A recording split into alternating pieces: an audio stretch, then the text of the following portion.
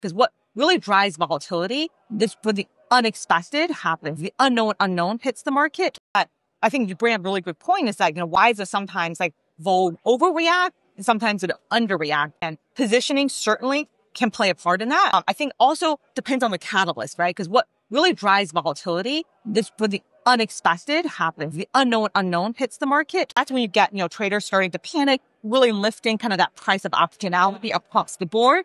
That's what happened in August of 2015 with the China slowdown. It was you know, the first time that people really started considering like a hard landing in China, what that means for global growth. By the time February came around, we've been talking about that risk for six months. Yes, you, you get incrementally worse data out of China, but at that point, it wasn't new news, right? You had time to position your portfolio or maybe de-lever, right? Part, parts of your portfolio. Therefore, you don't really have that same effect going into February. I think that I generally break it down into two mental uh, structures. One, everybody's fighting the last war. That's kind of what you're talking about, right? People had just seen it happen. Yeah. They deleveraged, they had time, they were prepared.